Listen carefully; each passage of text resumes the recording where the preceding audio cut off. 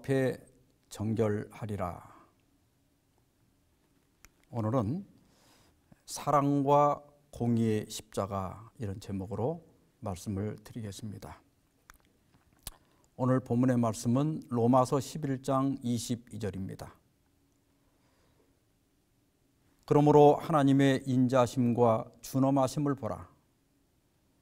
넘어지는 자들에게는 준엄하심이 있으니 너희가 만일 하나님의 인자하심에 머물러 있으면 그 인자가 너희에게 있으리라. 그렇지 않으면 너도 찍히는 바 되리라. 로버트 슐러 목사는 미국 최초로 megachurch를 세운 분입니다. megachurch 하면 어, 정규 예배에 2,000명 이상이 출석하는 교회를 가리킵니다. 이분은 한때 현대 교회의 성장 모델을 보여줬다는 평가를 받았습니다. 슐러 목사님의 사상은 한마디로 긍정의 힘입니다. 인본주의의 바탕을 둔 긍정적 적극적 가치관은 그분이 일만장의 유리로 덮인 수정교회를 세우면서 분명하게 보여주었습니다. 그래서 이분의 초기작으로 불가능은 없다.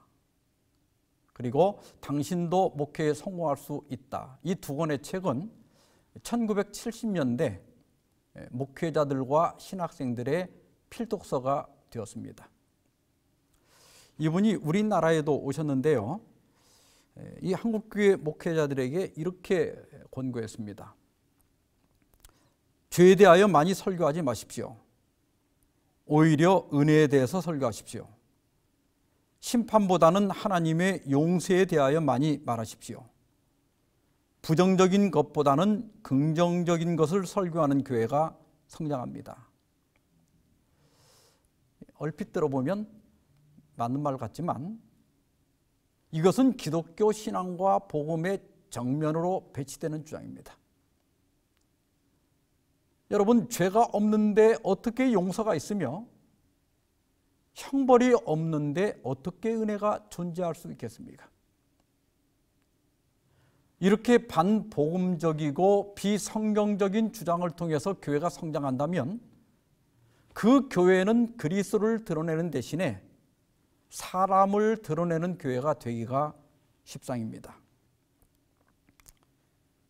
하나님께서는 이사야 58장 1절에서 크게 외치라 목소리를 아끼지 말라 내 목소리를 나팔같이 높여 내 백성에게 그들의 허물을 야곱의 집에 그들의 죄를 알리라고 말씀하셨습니다.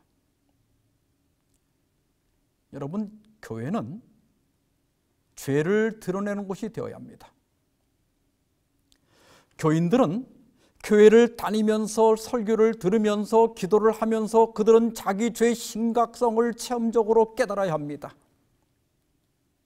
죄의 상처가 드러나고 자신의 환부를 볼 수 있어야 합니다. 그래야 십자가를 찾게 되고 십자가를 통한 하나님과의 화목을 갈구하게 돼 있습니다.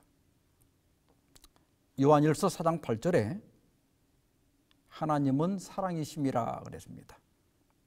하나님의 중요한 속성이죠.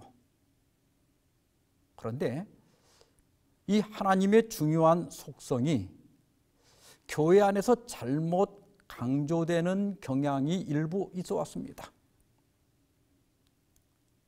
그 결과 하나님의 교회 안에 거룩함이 사라지고 하나님의 율법을 가볍게 생각하거나 무시하는 경향이 생겨나고 있습니다. 일찍이 엘렌 화이트는 사탄이 강신수를 이용해서 이 사랑의 속성으로 하나님의 백성들을 속일 것을 예언하고 있습니다. 각 시대 대쟁투 558페이지에 보면 옛날에는 강신술이 되게 이제 무당이나 뭐 이런 걸 통해서 역사했잖아요. 근데 지금은 그리스도와 성경을 다 인정하고 받아들인다는 거예요.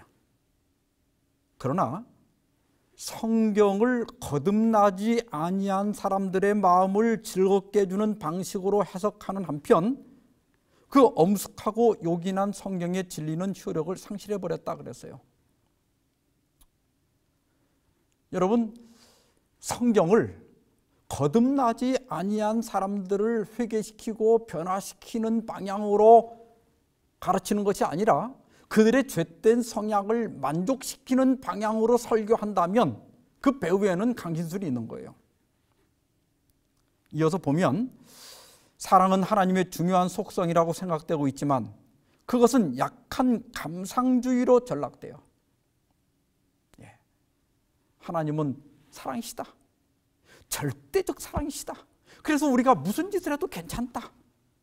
그래서 이거 아주 감상적으로 눈물이 나오고 감동이 있도록 이렇게 설명을 해요. 그 결과 선과 악을 거의 구별하지 못하게 되어 있다. 하나님의 공의, 죄에 대한 하나님의 견책, 거룩한 하나님의 율법의 요구 등이 모두 무시되고 있다. 서구 자유주의 신학자들은 폭력 자체는 언제나 비도덕적이다 이렇게 주장을 합니다. 그래서 이 형경의 형벌 대속교리 있잖아요. 예. 이런 교리는 예수님이 당하신 모든 폭력을 명시적으로 성부의 책임으로 돌리고 있다. 그래서 십자가에서 행하신 그리스도의 구속사역에 대한 모든 설명이 비도덕적이다 이렇게 비판해요. 이러한 자유주의 신학들이 개신교계 안에 들어왔을 뿐만 아니라 심지어 우리 재림교회 안에까지 침투해 들어왔어요. 하나님은 사랑이시다. 무조건적이고 절대적인 절대적인 사랑을 가지셨다. 따라서 죄인들에게 진노하거나 형벌을 내리지 않는다. 이제 그렇게 하다 보니까 이제는 노아 홍수도 하나님이 아니라 사탄이 일으켰다. 아브라함에게 이삭을 바치라고 한 것도 그 하나님의 음성이 아니라 사탄의 음성이었다. 우사가 법궤를 붙들다가 죽임을 당한 것도 하나님이 한 것이 아니라 사탄이 했다. 이렇게 성경의 주어까지 바꾸어서 설교를 해요. 근데 어떤 사람들은 그런 설교를 들으면서 아멘 해요. 교회 증언 1권 344페이지 보면 강신술의 많은 슬픈 결과들이 이 시대의 목사들에게 임할 것이다. 그 이유는 그들이 진리를 짓밟고 그 대신 꾸민 이야기들을 더 좋아했기 때문이다. 이렇게 얘기했어요. 여러분, 우리는 성경을 있는 그대로 가르쳐야 되고 그대로 들어야 돼요. 우리 귀를 즐겁게 해주는 설교에만 귀를 기울일 것이 아니라 우리의 죄를 지적하고 우리의 환부를 드러내는 설교를 듣고 회개해야, 회개해야 되는 것입니다. 하나님께서는 10편 50편 21절에서 내가 이 일을 행하여도 내가 잠잠하였더니 내가 나를 너와 같은 줄로 생각하였도다. 그러나 내가 너를 책망하여 내 죄를 내 목전에 차례로 베풀리라 이렇게 말씀하셨어요. 여러분 우리는 사랑의 하나님도 봐야 하지만 공의의 하나님도 봐야 하는 거예요. 그래야 우리 신앙이 건강해집니다. 자, 여러분 사랑의 하나님도 진노하십니까? 예. 성경 전편에 하나님의 진노에 대한 언급이 뭐 수백 번 나옵니다. 먼저 구약에 나타난 하나님의 진노를 보면 민수기 11장 1절 백성이 여호와의 들으시기 약한 말로 원망함에 여호와께서 들으시고 어떻게 하셨다고요? 진노하사 역대상 13장 10절 우사가 손을 펴서 괴를 붙들물 인하여 여호와께서 진노하사 치심에 우사가 거기 하나님 앞에서 죽으니라 여러분 우사를 누가 졌습니까? 제가 이걸 저희 연수원에서 새벽 강의 때마다 계속 물었어요. 두 분이 사탄이요 이렇게 답을 해요. 그래서 제가 이 말씀을 한번 읽어보라고 그랬어요.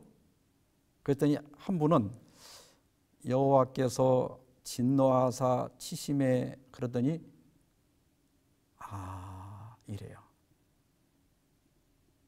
이 사탄이 아니라 누가 치신 거예요? 예, 하나님께서. 이분은 이제 제대로 깨달은 거예요. 근데 또 한 분은 제가 읽으라고 그랬더니 안 읽고 입을 다 다물고 가만히 있어요. 죽어도 사탄이라는 거예요. 절대적 사랑이신 하나님께서 우사를 죽일 리가 있느냐 이거예요. 이 주어를 바꾸는 거예요. 또 어떤 사람은 아 그건 구약의 하나님은 공의 하나님이라 그렇고 신약의 하나님은 사랑의 하나님이라 심판을 하지 않는데요. 여러분 구약의 하나님과 신약의 하나님이 다른 분입니까? 같은 분이죠. 신약에도 로마서 1장 18절 하나님의 진노가 불의로 진리를 막는 사람들의 모든 경건치 않음과 불의에 대하여 하늘로조차 나타나나니 에베소 5장 6절 누든지 헛된 말로 너희를 속이지 못하게 하라. 이를 인하여 하나님의 진노가 불순종의 아들들에게 임하나니. 고로새서 3장 5절 6절.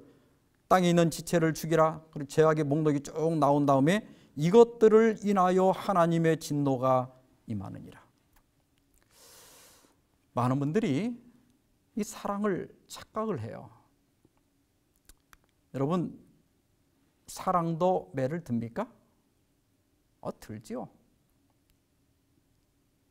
여러분 자동차가 무섭게 질주하는 도로에서 아이가 공놀이를 하고 있다면 사랑은 조용한 목소리로 타이릅니까? 아니에요. 걸음마를 겨우 하는 어린아이가 가스불 위에 끓는 주전자를 잡아당기려 한다면 아마 보통 소리만으로는 안 될 겁니다. 우리는 사랑하기 때문에 소리를 지르는 경우가 많습니다. 물론 하나님도 조용히 타이르는 것을 좋아하십니다. 예수님께서 지상에 계실 때 예수님은 죄인들을 그렇게 다루셨습니다. 그러나 예수님께서 성전을 방문했을 때 그 마당이 사나운 상인들과 협작꾼들로 난장판이 된 것을 보시고 채찍을 휘두르시고 돈을 쏟으시며 상을 엎으셨어요. 그리고 이것들을 여기서 가져가라고 소리쳤습니다. 우리는 하나님을 사랑도 봐야 하지만 공의에서도 봐야 하는 것입니다. 존 스토트 목사님은 20세기 최고의 설교자이자 현대 기독교 지성을 대표하는 복음주의자입니다. 어, 2005년 타임지가 발표한 세계에서 가장 영향력 있는 백인의 명단에도 올랐고요. 또 신학자 마이클 크로마티가 개신교계가 교황을 선출한다면 존 스토트 목사가 뽑힐 것이다라고 말했던 분입니다. 이분은 이렇게 말했습니다. 우리는 하나님을 악을 형벌하거나 심판한 분으로 생각할 수 있을까? 그렇다. 우리는 그렇게 생각할 수 있고 또한 그렇게 생각해야 한다. 실로 십자가의 본질적인 배경은 인간의 죄 책임 그리고 죄책뿐만 아니라 이런 것들에 대한 하나님의 의로운 반응, 곧 그의 거룩과 진노도 포함되는 것이다. 하나님이 거룩하시다는 사실은 성경적 종교의 기초이다. 따라서 죄가 하나님의 거룩과 양립할 수 없다는 것은 당연하다. 말씀이 좀 길지만 간단하게 그림으로 설명하면 십자가가 왜 있었느냐? 그 본질적인 배경이 뭐냐? 물론 십자가는 우리 죄 때문이죠. 그러나 더 본질적인 배경이 있었다는 거예요. 그게 뭐냐면 하나님은 거룩하시다. 이 거룩하다 이 말이 히브리어로 카도시 헬라어로는 하기오스입니다. 뭐 몇 가지 뜻이 있지만 가장 으뜸되는 뜻은 구별한다는 뜻이에요. 안식일이 왜 거룩합니까? 다른 엿새와 구별되기 때문입니다. 그러면 하나님께서 무엇으로부터 거룩한가? 무엇으로부터 구별됐는가? 그것은 죄로부터 구별됐다. 하나님은 죄와는 절대로 함께 살 수 없다. 그런 뜻이에요. 그래서 죄가 발생하면 하나님의 그 거룩한 본성 때문에 진노를 나타낸다는 거예요. 그런데 이러한 진노를 죄인에게 쏟아 부으면 하나님의 공의는 충족되지만 하나님의 사랑이 깨지죠. 그래서 하나님께서는 이 진노를 십자가에 예수님께 쏟아 부으신 것입니다. 참으로 십자가의 본질적인 배경은 하나님이 거룩하시다는 사실에 기초하고 있습니다. 이 하나님의 거룩은 그분은 결코 죄와 양립할 수 없다는 거예요. 이 하나님의 속성 때문에 나타나는 죄에 대한 거룩한 반응이 곧 진노이고 이 진노가 바로 십자가의 배경이 된다고 하는 것입니다. 그래서 런던 대학교 신약 해석학 교수인 테스커 교수는 하나님의 성품이 이 두 가지 속성 사이에 아무런 갈등이 없다는 것이 성경의 공리이다. 또한 과거 대부분의 위대한 기독교 신학자들과 설교가들은 하나님의 자기 계시의 이 두 측면에 동시에 충실하려고 노력하였다 이렇게 얘기했습니다. 예. 하나님은 거룩하시다. 근데 우리가 생각할 때 그렇게 거룩한 하나님이 어떻게 화를 낼 수 있느냐 이렇게 생각할 수 있는데요. 이 하나님의 진노를 우리가 자칫 오해하면 마치 우리가 막 참을 수 없어서 원한을 가지고 복수하는 마음으로 이렇게 분노하는 것처럼 생각하는데 예, 그렇진 않습니다. 리들리 대학 학장이었던 레온 모리스는 하나님의 진노란 악에 대한 하나님의 인격의 신성한 반발이며 악에 대한 하나님의 인격의 강인한 반대다 이렇게 말했습니다. 하나님의 본성은 악에 대하여 강력히 반발하고 반대하신다는 거예요. 이게 하나님의 속성입니다. 여러분 지남철이요 서로 이렇게 극이 같으면 밀어내고 극이 다르면 잡아다니죠. 지남철이 서로 밀어내고 잡아다닐 때 여기에 감정이 전혀 섞여 있지 않지요. 그 지남철의 속성이 그런 거예요. 하나님의 거룩한 속성이 그렇다는 거예요. 그래서 이 하나님은 거룩하기 때문에 죄와 절대로 공존할 수 없다고 하는 사실을 성경은 다섯 가지 은유를 통해서 설명하고 있습니다. 첫째는 높음이에요. 높으신 하나님.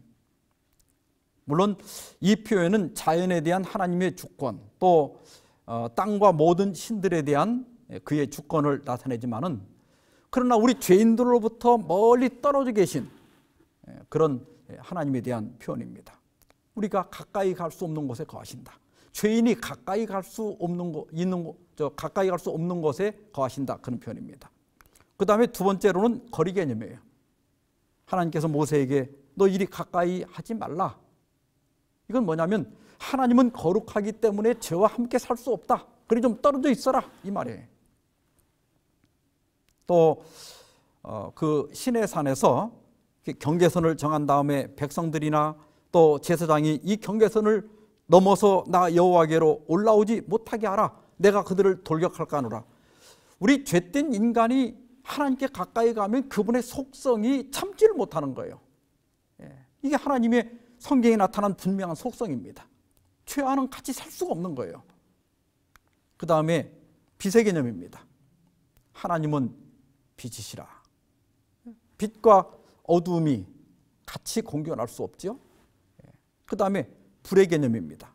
하나님은 소멸하는 불이시라. 예.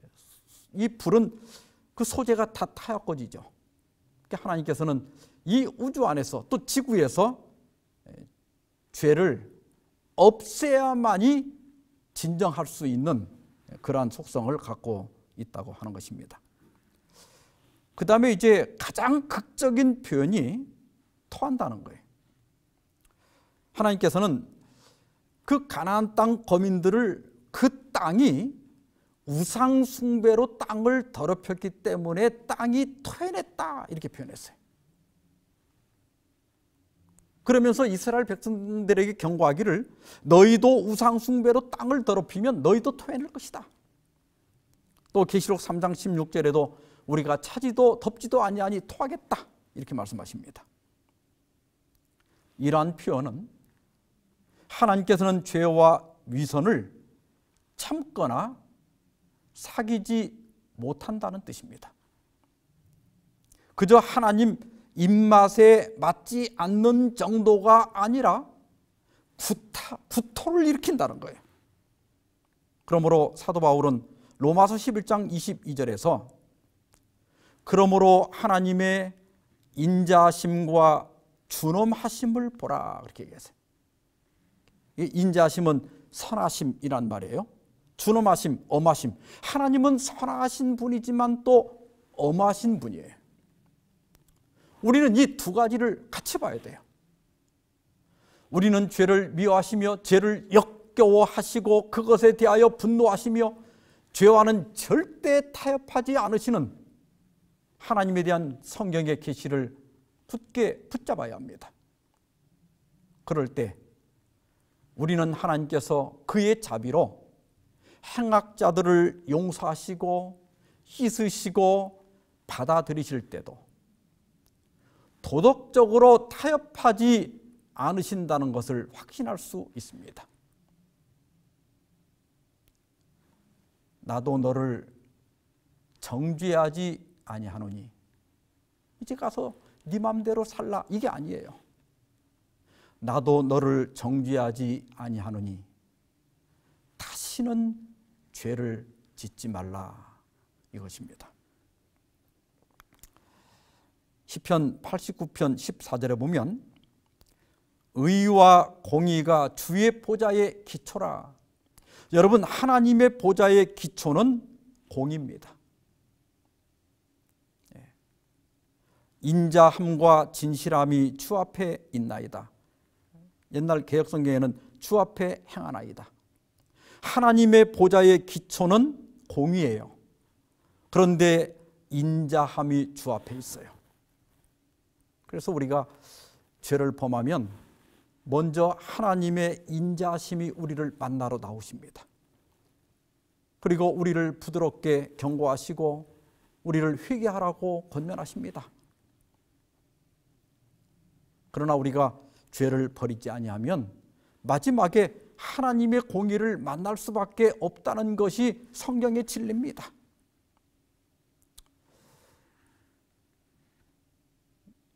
사랑만 강조하는 것이 달콤해 보이지만은 거기에는 함정이 있습니다. 루터교 신학자인 구스타프 스탈린은 진노가 얼마나 큰가를 아는 사람만이 자비의 위대함에 압도될 것이다 그렇게 얘기했어요. 여러분 십자가를 제대로 이해하려면 하나님의 공의와 사랑에 대한 균형 잡힌 이해가 필요합니다. 여러분 십자가는 내가 어떤 죄인도 용납하겠다는 사랑의 표현입니다. 동시에 십자가는 너희가 회개하지 않으면 반드시 처벌하겠다는 공의의 표현입니다. 만일 이 둘 중에 어느 한편이라도 축소시킨다면 그것은 곧 십자가를 축소시키는 것입니다. 여러분 한번 잘 생각해 보십시오. 죄가 사랑의 하나님께서 처벌할 필요가 없는 별것이 아니라면 사실 십자가는 불필요한 것이 됩니다. 하나님을 분노하시는 분이 아닌 관대한 분, 절대적으로 자비로우신 분으로만 해석한다면 이 또한 십자가를 불필요한 것이 되게 합니다. 여러분 생각해 보십시오. 죄가 없는데 무슨 용서가 필요하며 형벌이 없는데 무슨 은혜가 필요하겠습니까? 자, 여러분 제가 이 시간 여러분을 다 용서하겠습니다. 어떻게 감동이 옵니까? 잘못한 것이 없고 처벌이 없는데 용서가 무슨 의미가 있고 뭐가 고마울 게 있겠습니까?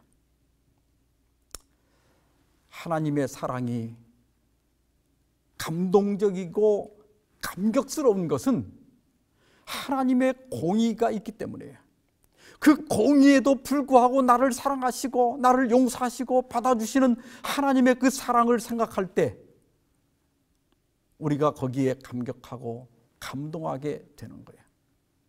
그래서 하나님의 사랑은 공의를 강조해야 더 크게 부각이 되는 것입니다. 영국 교회 감독이요 신학자인 웨스트코 주교는 피상적으로 보면 용서보다도 더 간단한 것이 없지만 만약 우리가 깊이 들여다보면 그것보다 더 신비스럽고 더 어려운 것은 없다 그렇게 얘기했습니다. 여러분 하나님의 거룩하신 죄와 구별되신 그분의 본성을 생각한다면 거룩하신 하나님께서 죄인을 사랑하지 않는 것이 이상한 게 아니라 도대체 그렇게 거룩하신 하나님께서 죄인들을 용납하시고 사랑하시고 그들을 씻는다는 이 사실이 더 이상하고 신비스러운 것입니다.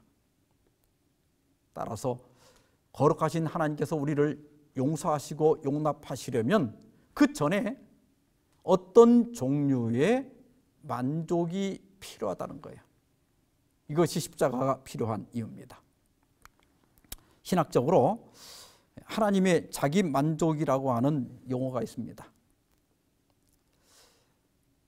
하나님께서는 악에 대한 자신의 인격의 신성한 반대 혹은 반발인 진노를 달래기 위해서 혹은 충족시키기 위해서 인간에게 무엇을 요구하지 않으셨다는 거예요. 왜냐하면 하나님께서는 우리가 아무것도 할 수 없다는 것을 아시기 때문입니다. 그리스 신화 중에 트로이 전쟁 이야기가 있습니다. 파리스 왕자 파리스 어, 어, 트로이 왕자 파리스는 스파르타 왕 메넬라우스의 왕비 헬레네를 빼앗아서 트로이로 도망을 갑니다. 그리스 원정군이 그녀를 되찾기 위해서 출항했지만 도중에 역풍을 만나서 배가 꼼짝을 못해요. 그러자 그리스 총사령관인 아가멤논은 화가 난 신들을 달래기 위해서 자기 딸을 데려와서 죽여서 희생 제물로 바치려고 합니다. 물론 그 신화에서는 아르테미스가 어, 암 사슴으로 바꿔치기를 해가지고 이피게네이아가 죽진 않아요. 그러나 어쨌든 이 일로 인하여 신의 노여움이 풀리게 되고 다시 서풍이 불어서 그리스 함대가 트로이에 도착하면서 트로이 전쟁이 시작이 됩니다. 이것이 주전 1천년 전에 지어진 트로이 전쟁의 한 부분입니다. 이 이야기 속에 모든 시대에 걸쳐 전 세계 이방 종교들이 갖고 있던 희생 제물에 대한 생각을 반영하고 있습니다. 이방 종교에 많은 신들이 있는데요. 그 신들이 아주 변덕이 많아요. 그리고 사소한 일에도 화를 잘 냅니다. 그래서 사람들이 자신에게 충분한 관심을 기울이지 않으면 질투하기 시작하고 또 상황을 어렵게 만들어서 복수합니다. 그러면 사람들은 그 신을 달래기 위해서 희생 제물을 바쳐요. 그래서 우리나라 사람들도 옛날에 어, 비가 안 오면 어떻게 했죠? 예, 기우제를 드려서 신을 달랬어요. 신과 인간 사이에 불화가 생겼을 때 누가 그 화목을 이루는가? 이방 종교는 인간이 그 화목을 이룹니다. 신의 노여움을 달래고자 하는 것은 언제나 인간이에요. 예. 신의 그 공의를 인간의 재물이나 고행으로 만족시킵니다. 그러나 복음은 우리가 할 수 있는 어떤 것도 다시 말하면 우리가 바치는 어떤 헌물이나 고행도 우리의 죄를 보상하지 못하며 하나님의 진노를 돌이킬 수 없다고 단언합니다. 하나님을 설득하거나 감원 이슬로 부추기거나 혹은 뇌물을 써서 용서를 받을 수는 없습니다. 우리가 하나님께로부터 심판밖에는 아무것도 받을 것이 없다는 거예요. 여러분 성경에 나타난 희생 제사는 인간의 일이 아니라 하나님의 선물이었습니다. 우리가 드리는 제사가 하나님을 의롭게 만드는 것이 아니라 도리어 하나님께서 범죄한 인간을 은혜롭게 대하기 위하여 스스로 희생 제물을 마련하신 것입니다. 이 십자가가 모리아 산에서 나타난 거예요. 이제 아브라함과 이삭이 모리아 산을 올라가고 있었어요. 이삭이 이상해서 묻습니다. 아버지, 풀하고 나무는 여기 있는데 번제할 어린 양은 어디 있습니까? 그때 아브라함이 영감을 받아서 예언을 합니다. 아들아, 번제할 어린 양은 하나님이 자기를 위하여 친히 준비하시리라. 그 죽어야 할 이삭을 대신하여 그 뿌리 나무에 걸린 한 양이 발견되지 않습니까? 아브라함은 거기서 우리를 대신하여 희생하신 그리스도를 본 거예요. 그래서 예수님께서 아브라함이 나를 보았다. 그랬더니 유대인들이 막 화를 내면서 네가 몇 살인데 아브라함이 너를 봤다고 하느냐 그렇게 얘기하죠. 바로 이 모리아 사건이 이게 사탄이 한 게 아니라 하나님께서 아브라함에게 우리의 속죄 제물이 되시기 위하여 십자가에 달리신 그리스도를 보여준 사건입니다. 그래서 사도 요한은 요한일서 4장 10절에서 사랑은 여기 있으니 우리가 하나님을 사랑한 것이 아니요 오직 하나님이 우리를 사랑하사 우리 죄를 위하여 화목제로 그 아들을 보내셨음이니라 그렇게 말씀하고 있습니다. 하나님께서는 자기의 공의를 만족시키기 위하여 친히 제물을 준비하셨습니다. 그것이 바로 예수님의 십자가입니다. 죄 지은 인간과 화목하기 위하여 하나님께서는 그 아들을 화목제물로 보내신 거예요.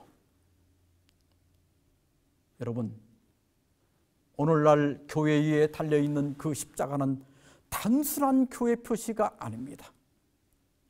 그 십자가는 죄인인 우리를 향하여 나는 너의 죄값을 십자가에서 받았다. 네가 어떠한 삶을 살았든 나는 상관하지 않는다. 나는 내 죄값을 이미 다 받았다. 그러니 있는 그대로 내게로 오라. 나는 이미 너와 화목했다. 이제는 내 손을 잡으라고 내민 하나님의 손길 그것이 바로 십자가입니다. 로마 3장 26절 곧 이때에 자기의 의로우심을 나타내사 이 말씀의 의미는 예수님의 십자가의 대속적 희생을 통하여 하나님이 자기, 자기 공의를 만족시켰기 때문에 자기도 의로우시며 또한 예수 믿는 자를 의롭다 하려 하심이라.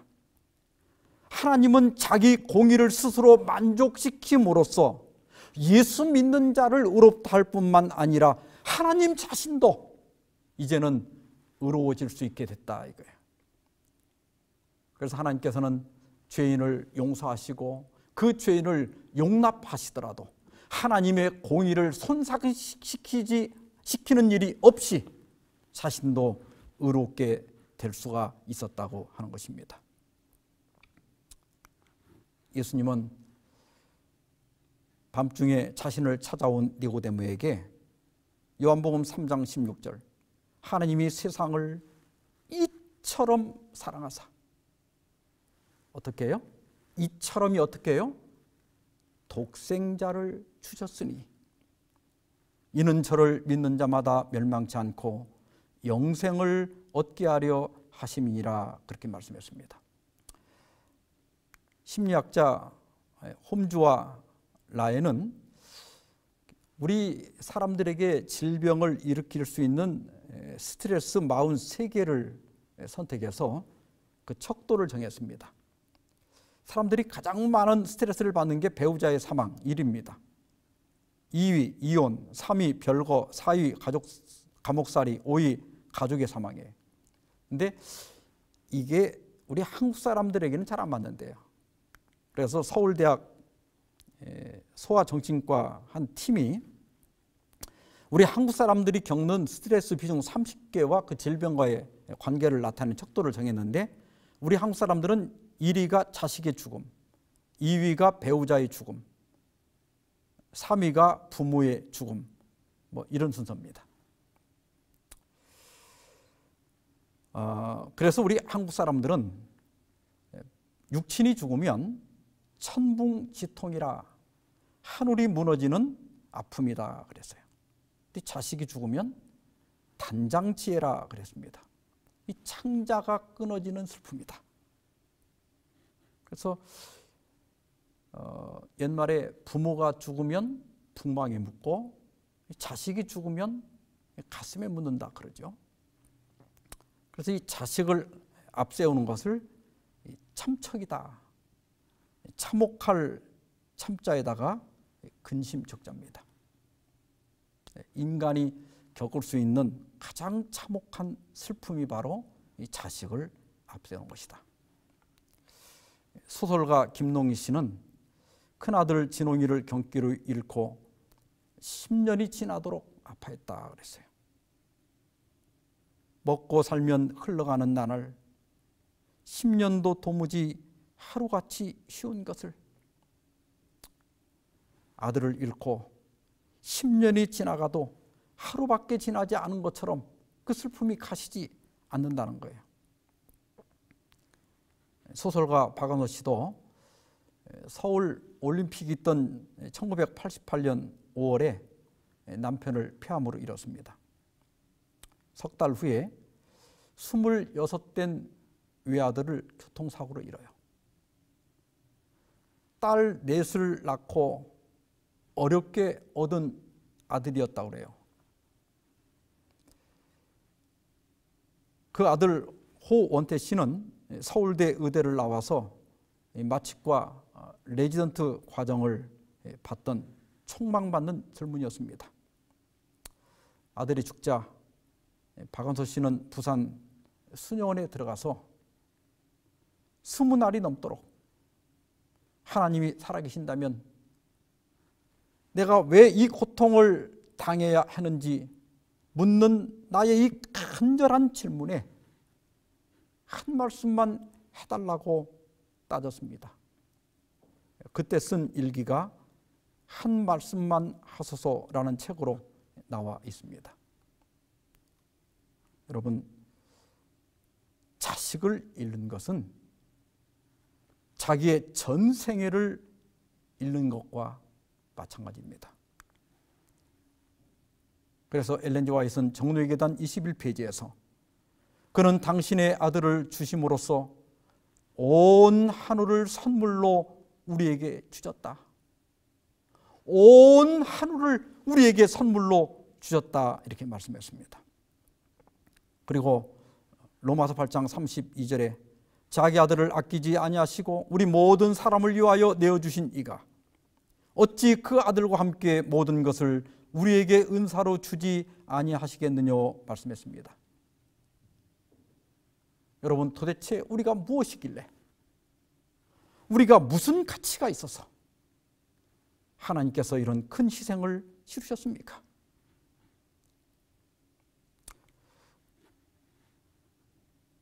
우리 찬미가 115장에 그 크신 하나님의 사랑이라는 찬미가가 있습니다. 이 찬미는 미국의 프레데릭 레만 목사가 어느 날 그 아내가 도시락을 싸줬는데 그 도시락을 쌌던 이렇게 신문을 폈는데 거기에 마침 유대교 찬양시 하다무트 우리말로 하면 서곡 이런 뜻인데 하다무트가 있었어요. 근데 그 글을 읽어보니까 너무 감동적인 거예요. 그래서 그 자리에서 레몬 상자에 걸터 앉아 몽땅 연필로 첫째 연과 둘째 연과 후렴을 작사하고 그 셋째 연은 그 히브리 시를 운을 맞춰서 고쳐서 이 찬미가를 완성했다고 합니다.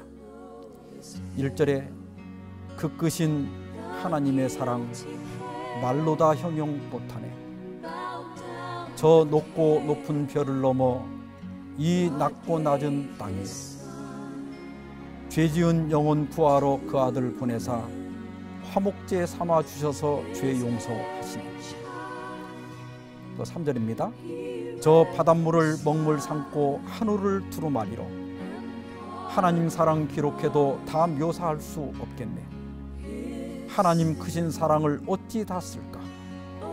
저 높은 하늘이라도 감당치 못하리.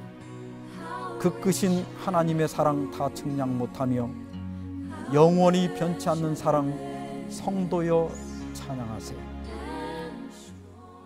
오늘 이렇게 하나님의 공의에도 불구하고 스스로 그 공의를 만족시키시고 우리를 부르시고 씻어주시고 용서하시고 받아주시는 하나님의, 하나님의 은혜를 찬미하고 감사하는 이날 되기를 바라면서 말씀 마치겠습니다.